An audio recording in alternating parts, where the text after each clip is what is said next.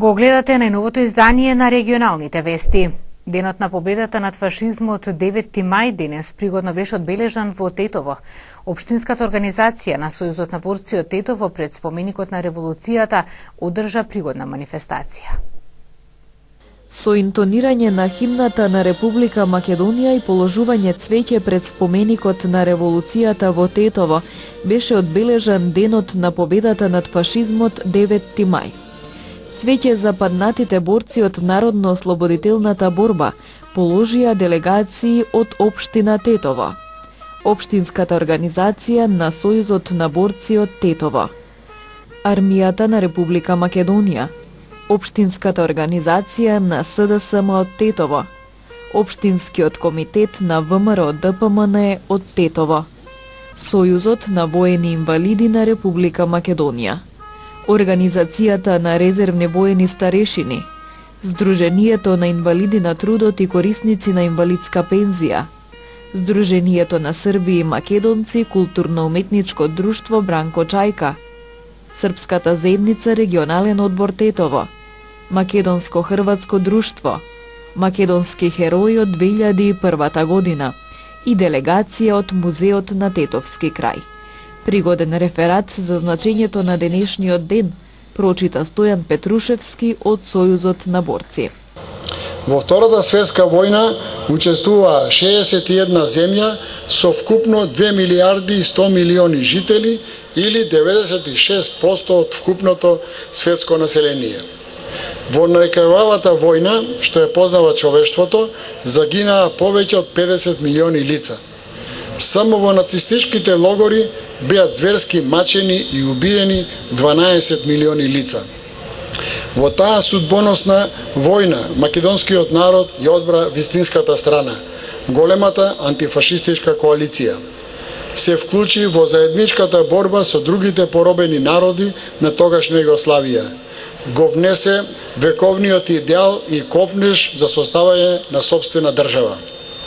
Стоијадната македонска војска зеде значајно учество во војната, посебно во завршните операции до конечното истерување на фашистичкиот окупатор од југословенските простори. На олтарот на слободата се положени над 24.000 животи, од кои 360 од Тетово и Тетовско. Да не ги заборавиме како жртви и над 7.000 македонски евреи депортирани во концентрационот логор Треблинка – Додека во тие пролетни денови на 1945 година нашите борци го славија македонскиот хероизам, во слободна Македонија се воспоставуваа суштинските одлуки на државноста. Се одржаа првите слободни избори.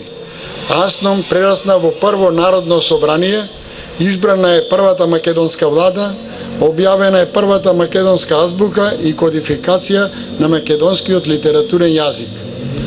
Почитувани присутни, 9 мај, овој голем ден на победата, ден кога беше поразено најголемото зло на човештвото, фашизмот, ден кој не опоменува и обврзува нас и нашите идни генерации да не дозволиме да се повтори најмначната историја на човештвото.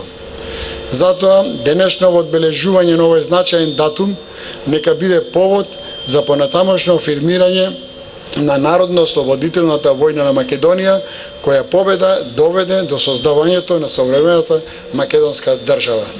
Обштинската организација на Сојузот на борци од Тетово следно ќе одбележи годишнината од загинувањето на првоборецот Илјо Антески Смок. Цвеќе ќе се положи пред неговиот споменик во населбата Двабреста на 17 мај. Младите генерации треба да знаат како е извојувана победата над фашизмот и да ги вреднуваат придобивките од Народно-ослободителната војна. Ова беше пораката од денешното одбележување во Гостивар по повод 9 мај, денот на победата над фашизмот. Со свечен собир во летниот амфитеатар покрај Вардар во Гостивар беше одбележан 9 мај, денот на победата над фашизмот. На настанот во организација на Сојузот на борци присуствуваа граѓани, ученици, представници од политички партии и здруженија. На чествувањето беше прочитан пригоден реферат преку кој се испрати порака за вреднување на придобивките од народно-ослободителната и антифашистичка борба.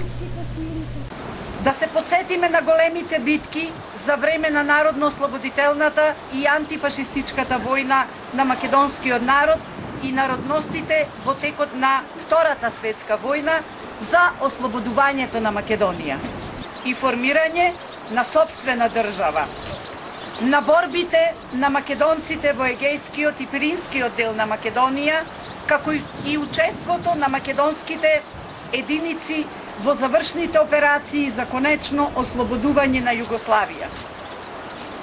Да не ги заборавиме борците кои ги положија своите млади животи за да живеат во легендите и да служат за поука на младите генерации да знаат како е извојувана победата над фашизмот, како е извојувана слободата, како е создадена денешна самостојна, суверена и независна Република Македонија.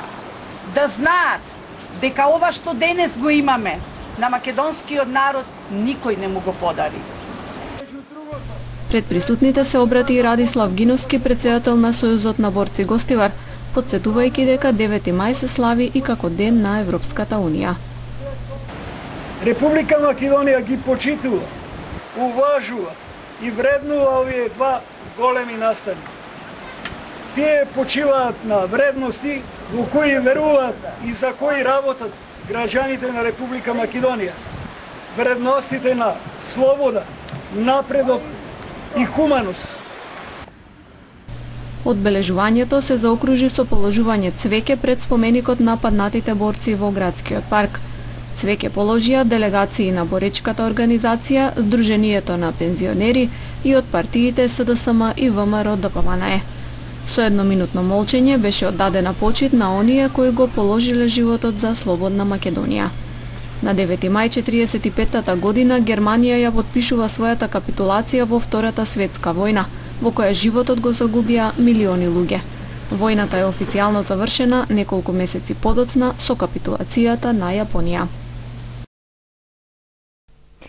9 мај денот на Европа денес со културно-уметничка манифестација се одбележа во Тетово. Ученици од тетовските училишта преку штандови ја пренесуваа културата, традицијата и различните вкусови на националната кујна на неколку земји членки на Европската унија.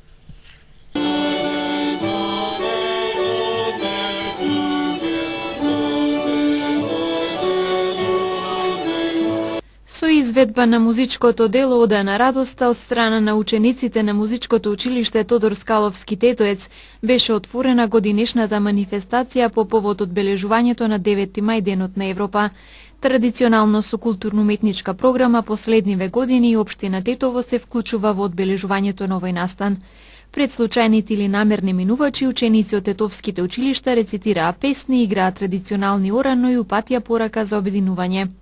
Значи, како што видите, ученици од основни и средни училишта од Тетово денеска приредиле низа активности во чест на денот на 9 мај, затоа делот нив имат експозирано слики, некои јадења носеле од дома и така надаму. Еколошки активности исто така се планирани да се реализират.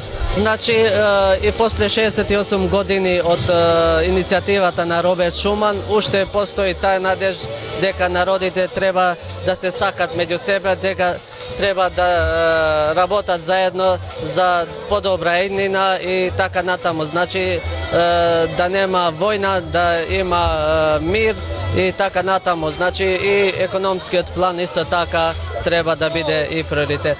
Во рамки на прославата на Денот на Европа, дел од учесниците се возеа со велосипед низ градските улици.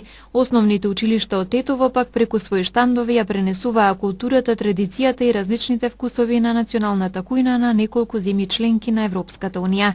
Европа го одбележува својот ден 9 мај европски символ што заедно со заедничката валута еврото, знамето и химната го представуваат политичкиот идентитет на Европската Унија.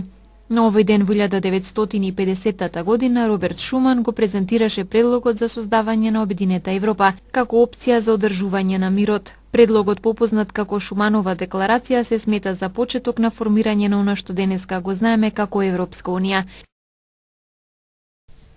Денот на Европа 9 мај во Гостивар беше прославен со свечена манифестација на која присуствува амбасадорите на Чешка, Полска и Унгарија во Македонија.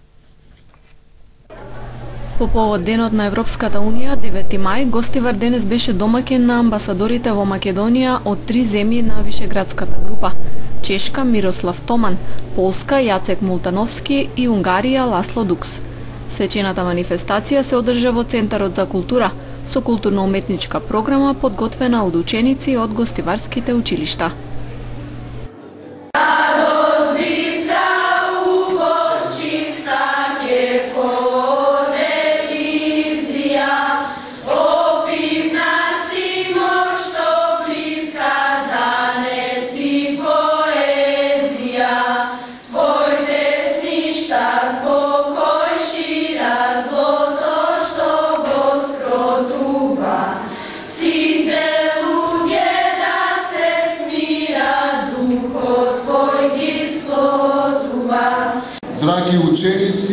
Драги дами и господа, ја нема да должам само да ви честитам празникот 9 мај. Македонија нема друг пат освен патот на европската интеграција.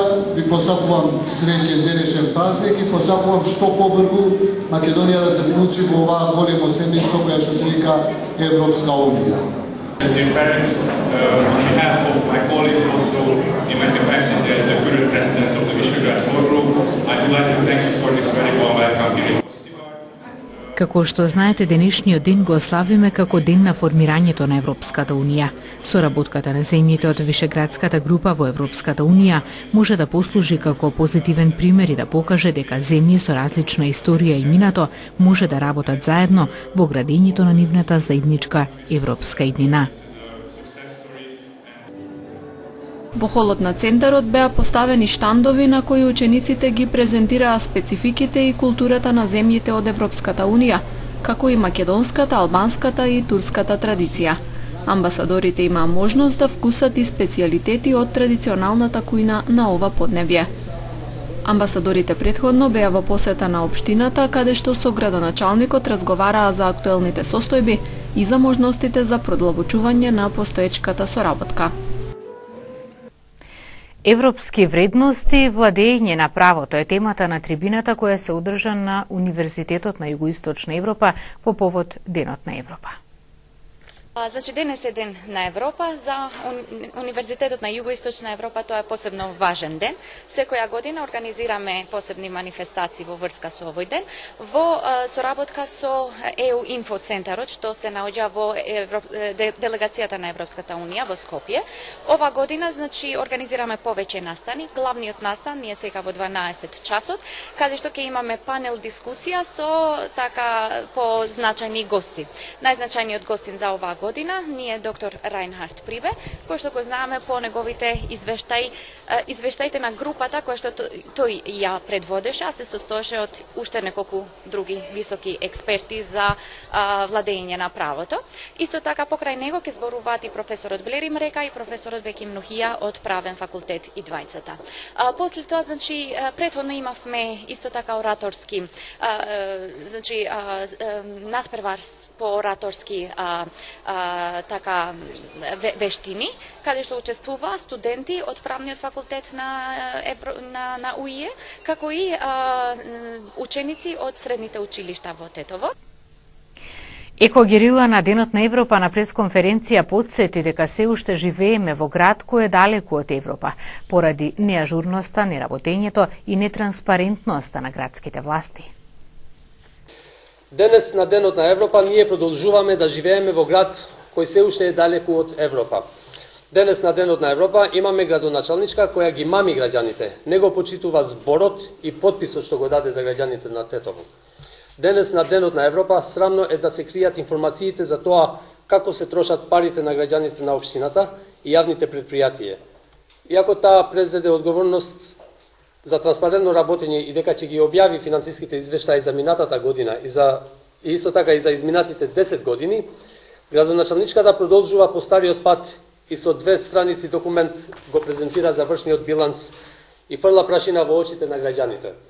Со ова екстремна неодговорност ни дава простор за сомнеш дека постои сериозна злоупотреба. Наместо две страници биланс треба да има детален финансиски извештај како на пример општина Прилеп. Денес на денот на Европа не е прифатливо граѓаните да не се информирани за тоа кој е долгот на општината, на кого го должиме, во чие време и од која причина е создаден тој долг. Денес на денот на Европа, ако функционираше правната држава, лица на јавни функции ќе одговараа за злоупотреба на службена должност и ќе се соочеа со судски постапки. Денес, на Денот на Европа, продолжуваат измамите на градоначалничката, која со својот подпис на 9 октомври 2017 година, кој може да го видите тука позади, вети и превзеде одговорност дека улиците во нашите населби, пред нашите домови, ќе се чистат најмалку еднаш месечно со вода. Промовиран најновиот 14-ти роман на писателот Јован Дамјановски, насловен како Благослов или проклетство. Промоцијата се одржа во ликовниот салон во Велес, каде свој настап имаше и тетовското женско трио Шербет. Се што е заматено не може да се види, освен да се замисли. Така се доживува чувствата за тоа што е вистина, а што наликува на вистината. Љубовта не се плаши и доколку се внимава на неа, може да се очекува радост и помисла дека за многу работи во животот се наоѓа смисла. Единствено се упатуваме на барањето на смисла. Така среќата се прераскажува со долги изливи на нежност. Дали бесконечноста на човековата душа е во љубовта? Со очитање на извадоци во убава атмосфера збогатена со изведба на женското трио Шербет, синоќа во ликовниот салон во Велес беше промовиран 14-тиот роман на писателот Јован Дамјановски, насловен како Благослов или проклетство. Истиот е една зрела генерацијска приказна поврзана со минатото, сегашноста и днината, а во неа, преку игра на зборови, Дамјановски раскажува за сликата на обичниот човек пред колективната слика на модерниот. Во овој роман се обидувам да допрам до книжевниот феномен, што се вика допир до стварноста, до животот.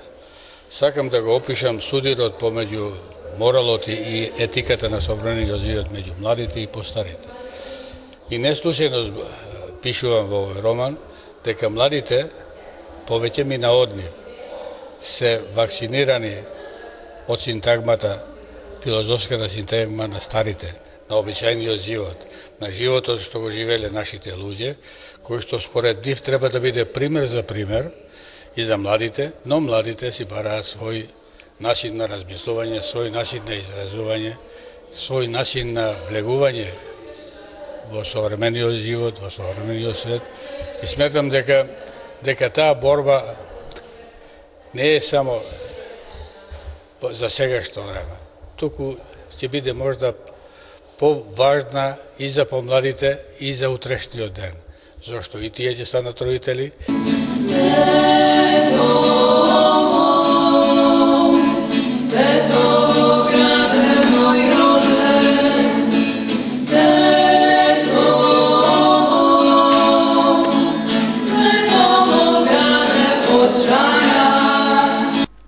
со навлегувањето во современите филозофски, морални и етички дилеми. Дамјановски се обидува да стигне до етичкиот и морален лик на современиот човек со емотивните психолошки драмски заплети – а со споредување доаѓа до заклучокот дека младите понекогаш се вакцинираат од филозофските синтагми на постарите, беше речено на синоќешната промоција. Јован Дамјановски во романот Благослов или проклетство е во потрага по архетиповите кои ги внесува во развојот на личностите од неговите главни и помалку главни ликови од романот. Тајната на неговото разгатнување на вистината од сите животни приказни на ликовите од овој роман – е дека секоја душа има потреба од поединечни анализи и, и дава и дали старост обезбедува посигурни заклучоци. Човековата клетва е во бесконечноста на чувствата за сакање. Издавач на романот Благослов или проклетство е Меѓународниот центар за славјанска просвета. Дамјановски веќе го најавува неговиот 15-ти роман под наслов Глобалните звезди на небото. Признавам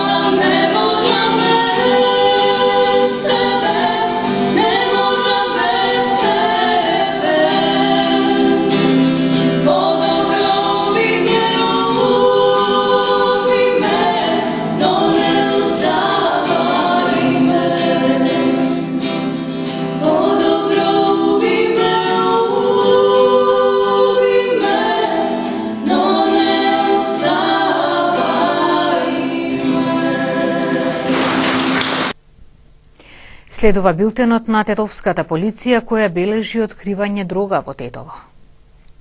Полициски службеници на секторот за внатрешни работи Тетово вчера од 18 до 19 часот и 40 минути извршиле претрез во домот и помошни простори на 32 годишен тетовец, лоцирани на улица Мирче Ацев. При претресот реализиран со судска наредба, пронајдени се 9 куршуми калибар 6,35 мм, електронска вага, 7 најлонски ќесиња и марихуана, 2 мобилни телефони, фолија и 33.000 денари во разни опоени.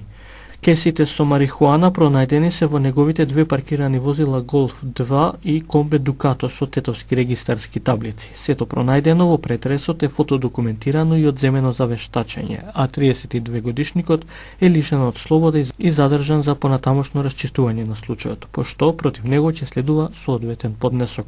Вчера 8 мај извршена е контрола во објект во Тетовското село Ратае кој нелегално работел како спортска облажувалница, односно во кој без лиценца се приредували игри на среќа. Во објектот бил затегнат вработен 27 годишникот Глоди. При контролата најдени се и со потврда се одземени три телевизори, компјутерско кучиште, монитор, печатач, баркод читач, тастатура и маус. 61 годишен гостиварец ноческа околу 2 часот пријавил семејно насилство што го извршил неговиот 30 годишен син.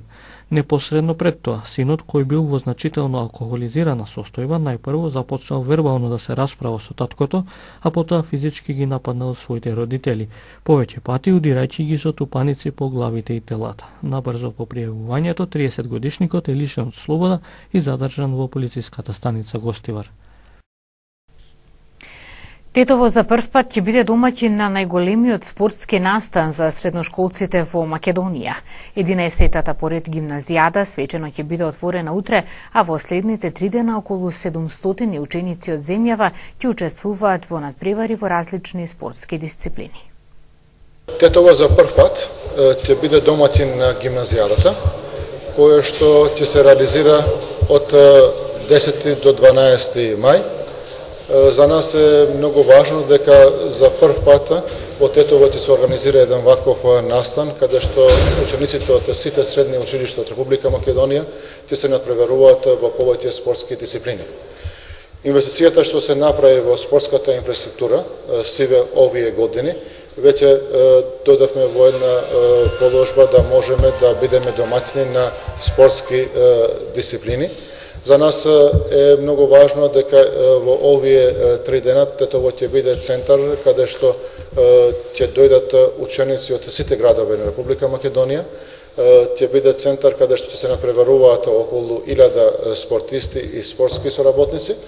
Со ова се надевам дека ќе излеземе како и достојни доматини на ова организација, а за нас е голема чест како град дека отворањето на оваа гимназијада ќе се реализира, ќе се направи од страна на премиерот на владата на Република Македонија и е, заедно со градоначалничката на општина Детово.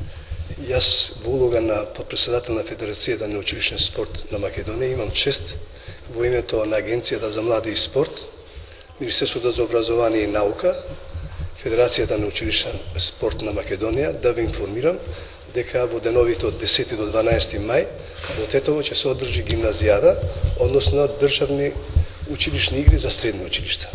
Секоја година, во непарните години одржуваме мали олимписки игри, односно државни надпревари за основни училишта, додека во парните години државни надпревари во, за средни училишта, односно гимназијата.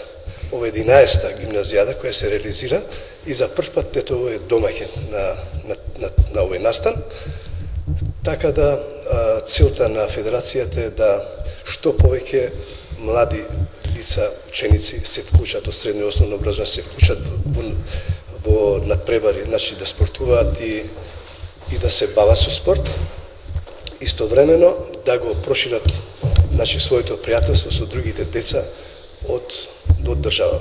Значи, тука се најдобрите екипи, училишта, средни, кои своето надпреварување го има започнато од меѓукласни надпревари, па општински, потоа зонски, регионални, па сега се најдобрите тука на државни надпревари, односно гимназијата Тетово 2018.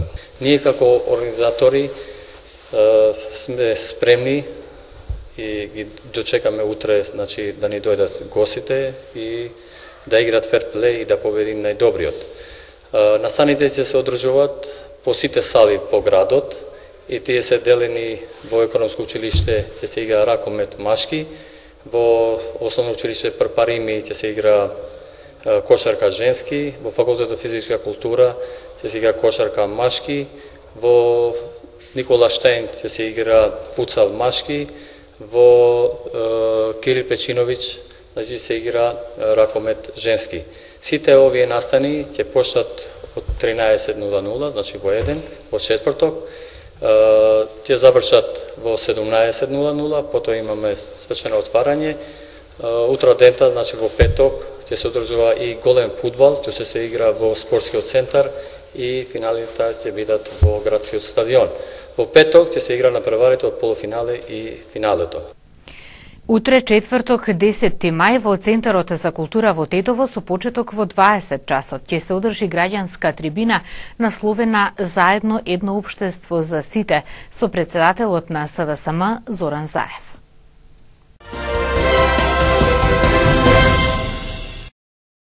Европските сојузници на Вашингтон и Техеран ветија дека ќе ја поддржат нуклеарната спогодба од 2015 година и покрај одлуката на председателот Доналд Трамп да ги повлече сати да воведе санкции. Одлуката на Вашингтон за излегување од нуклеарната спогодба со Иран имаше непосредни реакции во Ерусалим, Ријад, Техеран и пошироко. Председателот Хасан Рохани рече дека останува посветен на нуклеарната спогодба и изрази надеж дека Иран и другите подписнички би можеле да го зачуваат договорот. Американските сојузници Британија, Франција и Германија издадоа заедничка изјава нагласувајќи дека и тие остануваат посветени на спогодбата.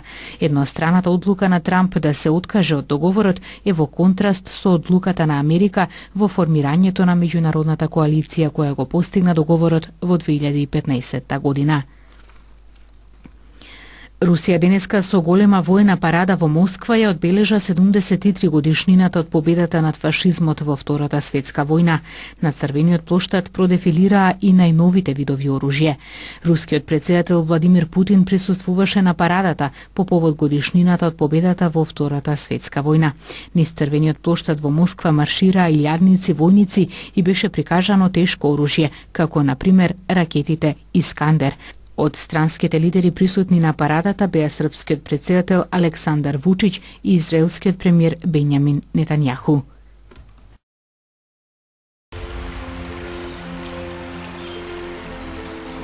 Денес имавме променливо облачно време со сончеви периоди. Попладне со услови за повремен дошт. Утринската температура се движеше од 7 до 15 степени, а дневната од 18 до 26 степени Целзиусови. УВ индексот изнесуваше 6.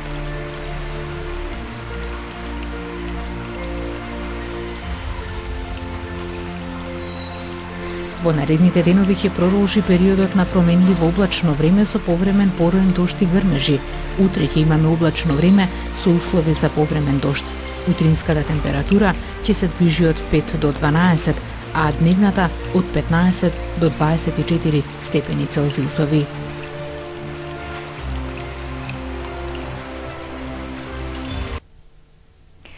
Регионалните вести ги завршуваме овде. Благодарам за вниманието. Пријатно.